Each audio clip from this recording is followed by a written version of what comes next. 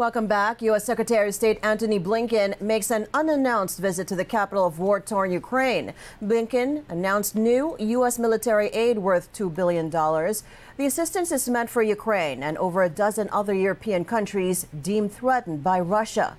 Russian President Vladimir Putin earlier accused Western countries of trying to maintain world order that is beneficial only to them. Putin announced Russia will phase out its use of the US dollar, the euro, and the British pound. These developments taking place amid what Ukraine claims is a counteroffensive by its forces that has liberated several Russian held towns and villages in the Kharkiv region.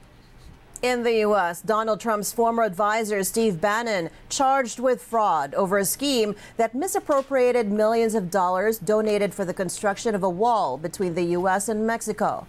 Bannon, who was closely involved in Trump's rise to the presidency, turned himself in Thursday to face the charges in New York. He pleaded not guilty and accused the judiciary of persecution. Bannon and nonprofit We Build the Wall were charged with money laundering, conspiracy, and fraud over a year long fundraising scheme that allegedly netted more than $15 million from donors based on false promises. Bannon was indicted in 2020 for financial fraud over the same allegations, but he was pardoned by Trump before he could be brought to trial. Building the wall on the Mexican border was a key campaign promise by Trump in his 2016 presidential run. An unprecedented array of crises led by the pandemic has disrupted decades of human progress. The UN Development Program says the Human Development Index declined in 2020 and 2021, erasing the gains of the preceding five years. The index is a measure of countries' life expectancies, education levels, and standards of living. Aside from the pandemic, the UN Development Program's report also blames political, financial, and climate related crises for the setback. The agency warns the outlook for 2022 is also grim. We are now for the second year running seeing a global reversal in human development, and it's happening in nine out of 10 countries. And when I look at the prospects of UNDP's work over the next year, I'm intensely frustrated because at a moment of maximum need, the countries who can most afford to enable us to step up, many of them are actually stepping back. And that, I think, um, we have to change because we'll all be losers as a result of that. The Queen's reign has ended. Britain's longest serving monarch, Queen Elizabeth II, dies at Balmoral Castle in Scotland. She was 96. The royal family announced her death online, saying she passed away peacefully. It did not specify a cause. News that the Queen's health was deteriorating emerged Thursday when doctors said she was under medical supervision, prompting her family to rush to Scotland. The Queen's eldest son, Prince Charles, finally becomes king after being next in line for the throne for 70 years. He leads Britain in remembering the beloved monarch, saying her loss will be deeply felt. King Charles III is expected to address Britain Friday. Details of the funeral have not been confirmed. Over at Downing Street, British Prime Minister Liz Truss leads world leaders in remembering Queen Elizabeth II. Truss, whom the Queen met just this Tuesday as she assumed her post as Britain's premier, praised the monarch for her legacy. She also called on Britain to come together to help the new monarch, King Charles III. Queen Elizabeth II was the rock on which modern Britain was built. Our country has grown and flourished under her reign. Britain is the great country it is today because of her.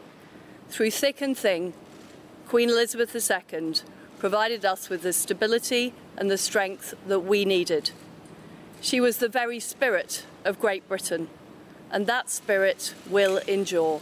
And with the passing of the second Elizabethan age, we usher in a new era in the magnificent history of our great country, exactly as Her Majesty would have wished, by saying the words, God save the King. Over in the U.S., President Joe Biden and First Lady Jill also paid tribute to the Queen. In a joint statement, the Bidens called the monarch a steadying presence and source of comfort in a world of constant change. Canadian Prime Minister Justin Trudeau also sent his condolences to the royal family. He said Canadians will forever remain grateful for the Queen's decades of service to the country. French President Emmanuel Macron remembers the late Queen as a friend of France and a kind hearted Queen who embodied the British nation's continuity and unity. Accolades also poured in from South Asia, where Britain was a colonial power up until before Elizabeth's reign began. Indian Prime Minister Narendra Modi says he was pained by her death, adding she provided inspiring leadership to her nation and people. Pakistan's president hailed Elizabeth as a great and beneficent ruler.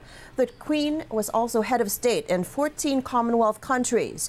Canadian Prime Minister Justin Trudeau says Elizabeth will forever remain an important part of the country's history. Australian Prime Minister Anthony Albanese paid tribute to her timeless decency and said her death marked the end of an era. The smallest members of the Commonwealth also paying their respects. David Burt, Premier of the tiny island of Bermuda, hailed Elizabeth's life as undimmed duty, adding her family is now mourning that loss. Britain enters a period of national mourning following the Queen's death.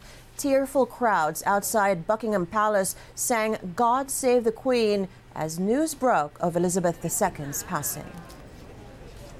Such an amazing woman, such a big part of our country. She's all I've ever known as, as the head of state. So it's going to be weird. Um, obviously, we'll have a king for the first time in my life. Obviously, Charles and Queen Consort Camilla. Um,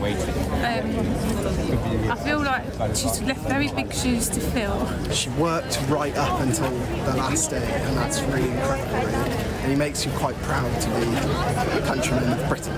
Obviously, this is heartbreaking, but she's not in pain anymore. She's with her husband, and um, she did us proud.